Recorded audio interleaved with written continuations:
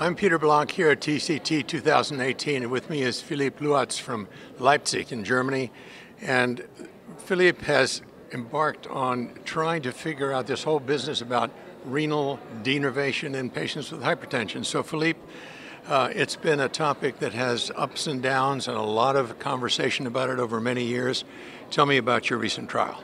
Yes as you said, ups and downs, but the more recent trials, they showed actually quite positive results. They showed that renal denervation works when more advanced technologies are used.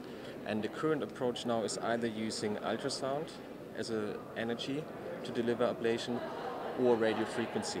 And the later can be delivered either to the main renal artery only or to the main and to the renal artery branches. Okay, and just to emphasize, this is all percutaneous, of course. This is all percutaneous. Okay, so tell me about the trial and tell me about the three arms of it because it's a fascinating trial and it has some funny um, sort of glitches in it. So let's yes, start true. with the trial. What's it about? So what we wanted to do, we wanted to compare these different technologies and techniques. We had three arms. One arm was radio frequency with um, ablations delivered only to the main renal artery. The second arm was again radio frequency, but ablations performed in the main, main and in the branches.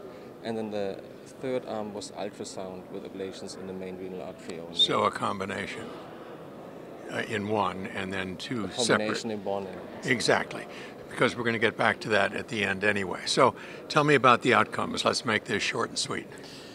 Yes, short and sweet outcome. We did see a significant reduction in blood pressure in all groups, irrespective of technology and technique. But when we compared the, the change between the groups, there was a statistical um, difference between ultrasound and radio frequency main only whereas the main and branches was in between with no statistical difference. Okay, so the radio frequency was more uh, successful.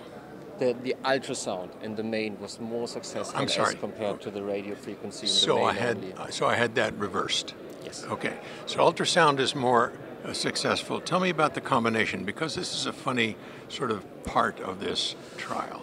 I think one aspect which uh, should be considered is that we do look at our primary endpoint at three months. And just at the recent um, SPYRAL HTN-ON MED trial, it was seen that the effect is more pronounced at six months. So it would be very interesting to see whether these changes will be different at six months.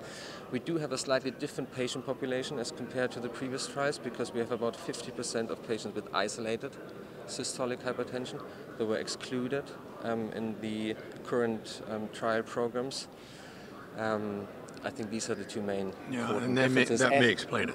And lastly, when we compare the number of ablations delivered, um, we performed about 35 ablations in the combined group, and current, in the current trials, patients had about 45. So maybe we were not rigid, not aggressive enough yeah, in the main group. So being in the combined group. Yeah, being me. aggressive in that combined group may have made the difference.